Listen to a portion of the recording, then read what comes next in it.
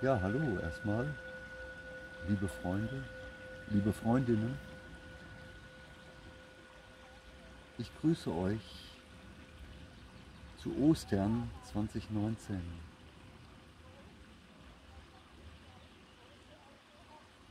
Eigentlich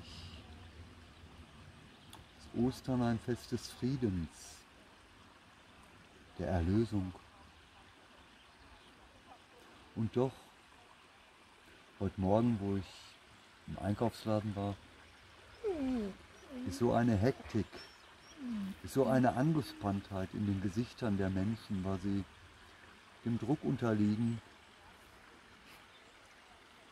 für ihre Liebsten, für die Familie, irgendwas besonders Feierliches zu machen. Dazu die Schwere des Sterbens und Leidens Christi, was sich wie eine Glocke über das kollektive Bewusstsein gelegt hat und jeden umfasst, selbst den freiesten Freigeist.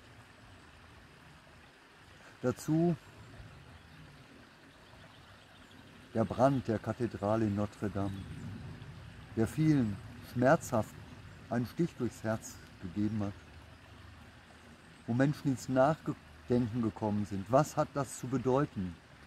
Hatte Nostradamus mit seinen Weltuntergangstheorien vielleicht recht. Was ist in dieser Zeit? Was macht mich so unruhig? Und doch ist Ostara, das eigentliche Fest, Ostern, ein Fest des Erwachens, ein Fest, das Frühjahr zu begrüßen, die Fruchtbarkeit, so ringsum in der Natur, zu genießen mit allen Sinnen, wahrzunehmen. Und ich sage dir, mein Freund, meine Freundin, Friede, Friede sei mit dir. Nicht ein Frieden von einem Papst, nicht ein Frieden, der sich einstellt, wenn alle deine Ziele und Träume sich endlich manifestiert haben, denen du so atemlos durch die Nacht äh, hinterherjagst, sondern ein Friede, der wirklich von innen kommt. Ich mag da diese Schwingungen, diese Energien, die sie einzigartig, so einzigartig in der Natur zu finden sind das Innehalten, die Zeiten in den Wäldern oder in der Wüste, die Zeiten sich wahrzunehmen, den Boden unter seinen nackten Füßen zu spüren, sich zu erden, den Geruch der Tannen hier ringsum wahrzunehmen. Und des Wassers welches ihr im Hintergrund plätschern hört. Die Sonne auf der Haut zu spüren und es zaubert dir ein inneres Lächeln ins Gesicht. Diese Momente, sie sind es, die dich sättigen, die dich ausfüllen, die dein Sein anreichern mit Kraft, mit Energie, mit positiver Schwingung, dass du wieder lächeln kannst. Ungeachtet deiner persönlichen Außenumstände. Und wie gesagt, derzeit ist viel los in der Gesellschaft, im kollektiven Bewusstsein.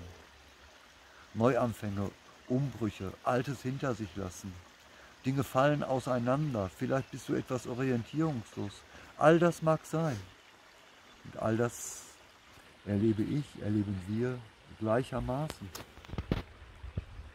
Und doch ist die Antwort darauf Friede. Friede und Liebe. Liebe, die entsteht aus dem Verbundensein mit allem Sein. Eine Liebe, die über erotische, partnerschaftliche Liebe hinausgeht. Eine Liebe, die nicht allein den Zweck hat, sich selbst auf den Thron zu setzen und sich selbst endlich anzunehmen, das innere Kind zu heilen, Traumata hinter sich zu lassen. So eine Liebe, die so real, so spürbar ist, wie sie nur entstehen kann aus der Verbundenheit. Für mich persönlich ein sehr großes Vorbild ist da der Dalai Lama, der so, ich sage es mal, durchmeditiert ist, der so in sich ruht, obgleich er eine Person des öffentlichen Lebens ist, obgleich er weltweit auch gesucht und gejagt wird, obgleich er auch eine riesige Verantwortung für den Buddhismus und für das Land, das eigenständige Land Tibet hat. Ich hatte das Vorrecht, ihm persönlich begegnen zu dürfen und es hat mich berührt. Es hat mir gezeigt, auch für Menschen wie du und ich es sind, ist es möglich, in sich zu ruhen, einfach zu sein, einfach von innen heraus zu strahlen. Ja, und das hat eine Auswirkung auf dein Gegenüber. Das hat eine Auswirkung auf die Pflanze, die du säst, auf den Hund, den du streichelst und liebkost, auf deine Partnerschaft.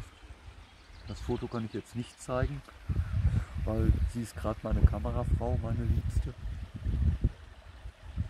Aber so veränderst du dein Leben und dein Sein. Von innen heraus, von klein nach groß. Und dazu möchte ich dich ermutigen, dass du diese Ostertage, diese Auszeit, die dir da beruflich gegeben wird, die du vielleicht im Kreis deiner Liebsten, vielleicht einsam zu Hause verbringst, einfach dafür nutzt, dir bewusst zu werden und bewusst zu sein. Das ist eigentlich der Kern des Lebens.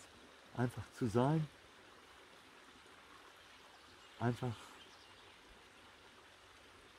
innerlich. Schenke dir gerade jetzt in diesem Moment ein inneres Lächeln und nimm es mit in dein Herz, in jede Zelle deines Körpers, in deine Aura. Das ist mein Wunsch, das ist mein Segen,